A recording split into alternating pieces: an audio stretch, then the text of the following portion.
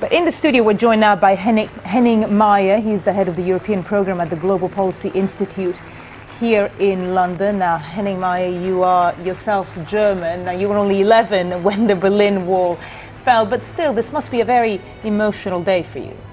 Well, it is. I mean, it's commemorating one of the uh, biggest, well, the biggest event in recent German history, and uh, was really the starting point for the Germany that um, you're experiencing, or everybody can experience now.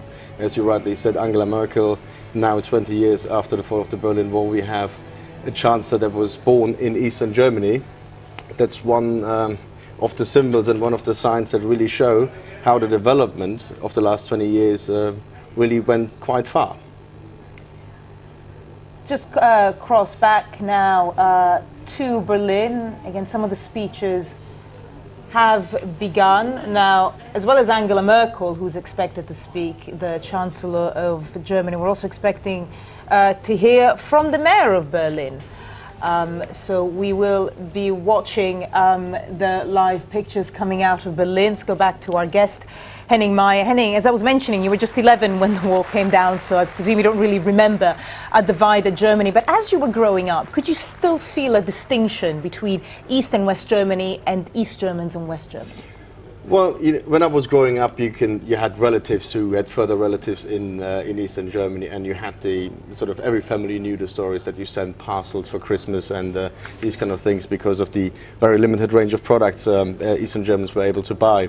But um, as sort of post the fall of the Berlin Wall and post unification, 11 months later, you could really see uh, that a process started that really made Germany grow much together. And in my generation, to be honest, it's not much of a distinction whether you're from the east or from the west. So, how united is Germany now, do you think?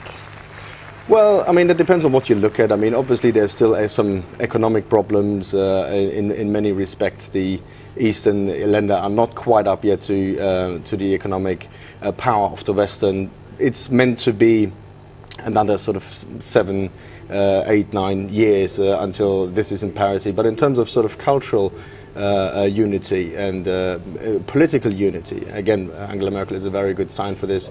I think Germany has come a very long way indeed. We're watching pictures come out of Berlin right now. A very rainy evening. I'm pretty sure it's quite cold being mid November in Berlin, and yet thousands of people who've turned out. Okay, there's a lot of uh, world leaders, but why do you think those people have turned out? We're seeing quite young kids who don't remember the war, weren't alive when the war was built um, or indeed taken down. So why do you think they're there? Well, there's one thing uh, being a German and uh, commemorating uh, unification, but there's another thing, quite another thing, being a Berliner and uh, commemorating the 20th anniversary of the fall of the Berlin Wall.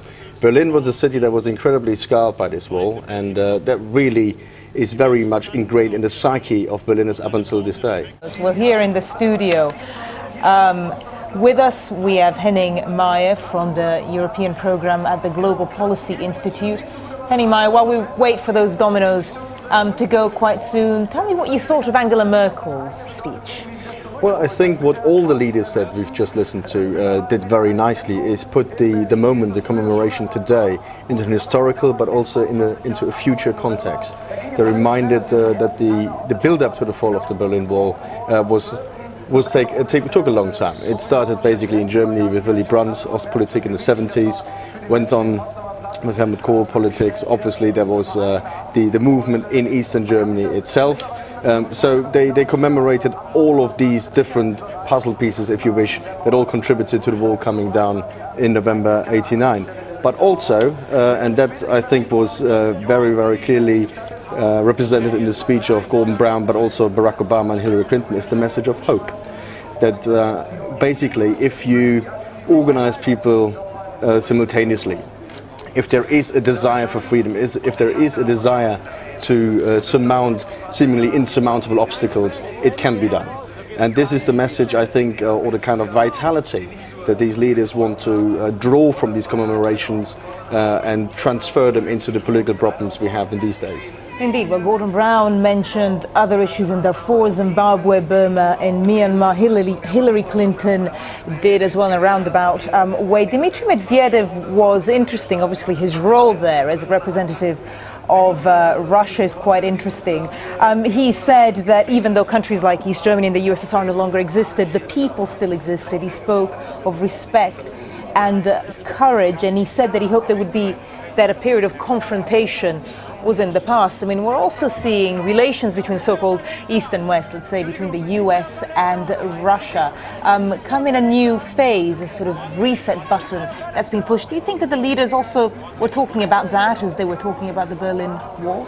Uh, yes, but this is still a very real problem. I mean, if you look at the recent elections in Germany and in Brandenburg that was mentioned, um, there is now a new red-red coalition, and there again is the talk: uh, can you really integrate people who have been tainted one way or the other in the, in the former Eastern, Eastern German system uh, into political process in unified Germany.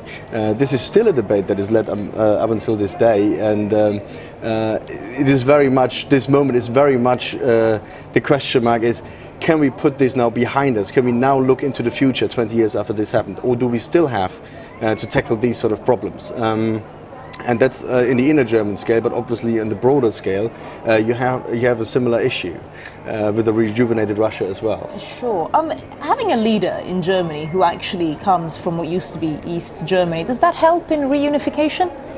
Well, yeah, it shows. Uh, it, it, shows that um, there is no barrier uh, to uh, people, at least in, po in, politics, with people from former Eastern Germany uh, uh, to rise to the highest offices. Um, as Barack Obama also said, who would have thought 20 years ago uh, that there would be an Eastern German woman leading Germany and, and an African and a president of African descent being the president of the United States. So this is again the message of hope. It can be done if, if you put your mind to it. Indeed. Well, uh, Henning Meyer, we'll come back to you in a second. Well, we still have Henning Meyer in the studio with us. He's head of the European program at the Global Policy Institute here in London. Henning Meyer, how do you think the people of Berlin, of what used to be East and West Berlin, are living this day? How do you think they feel? Well, I feel they uh, they probably feel relieved and they they. Um feel probably a big sense of achievement as well, because uh, Berlin is still the, very much the symbol uh, for where the Cold War uh, uh stopped. But uh, as, as, as, your colleague pointed out uh, very correctly, one has to remember that Berlin was basically, the, the fall of the wall was the culmination of a process that started above all in Leipzig, where the Monday demonstrations really gave uh, disenfranchised Eastern German people a voice and where more and more people gathered for peaceful protest and eventually even uh, in Leipzig just shortly after the 40th anniversary of the GDR basically defeated the system with 70,000 people peacefully marching in the streets. So this was the really the origin of this there was a very interesting poll because I mean we heard there Angela Merkel, all the other leaders speak about a reunified Berlin, a reunified Germany, and how that gave hope to the rest of the world. And yet there's been a poll in a in a German newspaper that shows that one in eight people who were questioned, in fairness, it was just a thousand people, but one in eight actually wanted the wall rebuilt, and not everyone saw it as the great success that certainly all the leaders hailed it as. What do you make of that? Why do some people in Germany not see reunification as having delivered all that it promised?